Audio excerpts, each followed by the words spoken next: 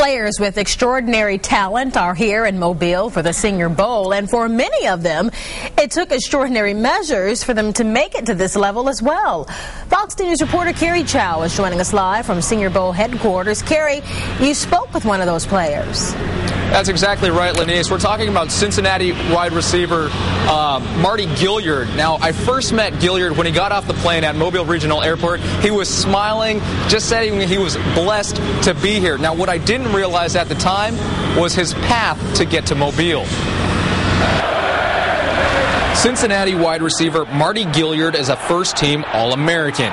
He leaves the Bearcats as the school's all time leader in receptions, receiving yards, receiving touchdowns, all purpose yards, kickoff returns, and kickoff returns for touchdowns.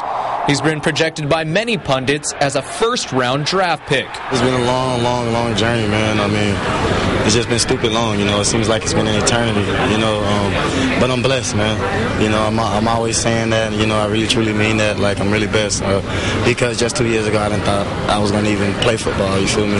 Gilyard didn't think he'd play football again because in the fall of 2006, former Cincinnati coach Mark Dantonio revoked his scholarship because of bad grades being a knucklehead, man, I didn't go to class, you know, so uh, I got my scholarship took, and then uh, I had to take leave from the team. Um, I had to pay a bill off. Uh, was homeless for a little bit. Homeless. Without a scholarship, Gilyard suddenly owed the school nearly $10,000 and was evicted from his apartment. Living in the car for six months. Um, like I said, man, I didn't even think I was going to play football. Football became the least of Gilyard's worries.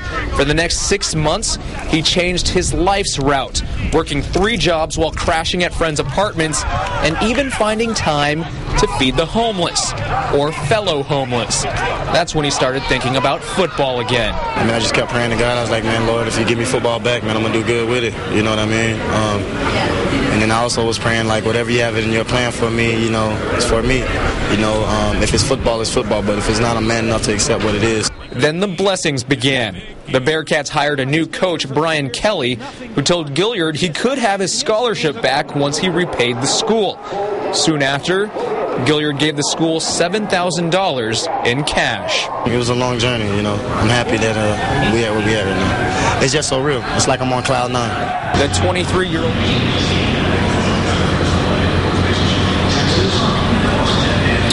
You know, um, one of Gilyard's teammates, Tony Pike, is also here in Mobile. I had a chance to talk with him about his teammate and his teammate's past earlier today he's an amazing story. I mean, you guys know the stories, you know, living in his car, the problems with school, and, and to see what he's become and how much he's overcome, where he could have just cashed it in and, and went back to Florida and said, that's it, where, you know, he came back and, and you know, one of the best receivers in the country. Now, Gilyard uh, grew up in a family of 10 siblings. He's the youngest of all of them. And he talked to me about how close he was with his mom. And this shows his sense of humor. He calls his mom his sugar wooga booga. Lenice, that's sugar wooga booga, in case you missed that. Quite the nickname, Carrie. Thank you so much for that report.